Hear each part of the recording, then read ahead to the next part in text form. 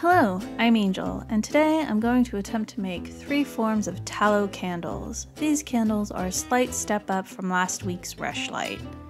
In last week's rushlight video, I showed you how I rendered the tallow I'll use in today's projects, so I won't be doing that again. First up, the old-fashioned tallow taper. My sources say the wick of these tallow candles didn't burn well, thereby requiring trimming as the candle burned. But none have told me what the material was. I've eliminated cotton and felt, so I think linen might be the winner. After last week's fiasco with the rush, I'm definitely going to do a burn test. I'm afraid this is not right.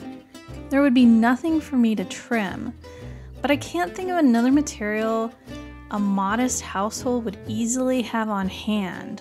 What do you think it was? Leave your comment down below and maybe I'll make a tallow candle with your recommended material. Today I'm just gonna go with the linen. A candle mold would have been an expensive single use item in a home, so I imagine people would have improvised with whatever they had around the house or homestead if they didn't want to make dipped candles.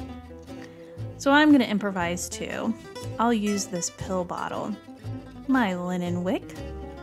I'll set this aside for a few hours to harden. Now I'm going to make the more advanced tallow candle. I'm going to use a recipe from the 1872 Encyclopedia of Practical Recipes and Processes. To make the wick, I'm going to use some cotton thread soaked in turpentine. On a side note, when the United States was still a colony, turpentine was one of the many commodities exported to England.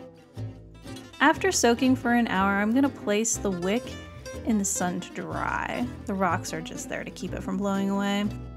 As I mentioned last week, my tallow is very soft, so I'm going to use another recommendation from the encyclopedia. I'm going to mix in some alum. Alum is commonly used in pickling and canning. Although not popular today, people with kitchen gardens would have done a fair amount of pickling and canning in the summer and fall to prepare for winter. Candle making took place in the cooler fall months, and I think people would have felt fine using a little of their leftover alum to make a harder candle for the following year's warmer months. Again, I'm going to use my pill bottle as a mold. Going to let my candles cure for a few days. Nothing has told me to do this, but you know, rushlight. Now to make the more modern tallow candle. I bought these wicks at a craft store and I'm going to use this leftover jam jar.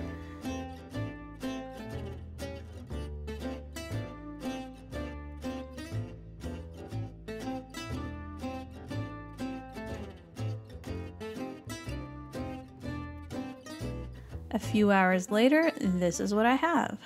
And this is what my old fashioned candles look like after being left out at room temperature. I read this frequently happened in the warmer months.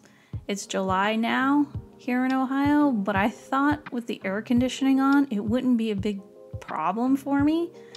Even the alum candle has slouched.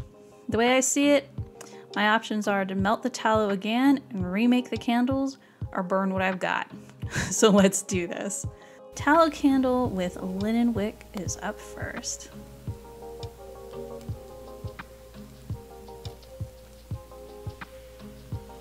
It is twice as bright as the rushlight. I'm surprised by how loud the crackling sound is, and it smells only slightly like bacon. Tallow candles with 1870s hacks. This is so badly slouched that it's almost like having a flashlight. It doesn't really seem to be that much brighter than the linen wick. I burned both on plates and they have made a bit of a mess. Last up is my modern tallow candle.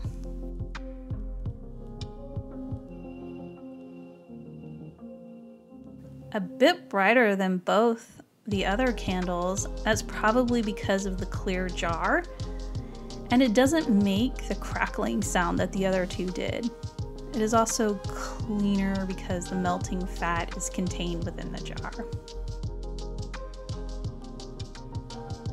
If you like this video, please give it a thumbs up. That tells the YouTube algorithm to push it out to people watching similar content. Join me next week when I'll be looking at and testing beeswax and spermaceti candles. I'll see you then.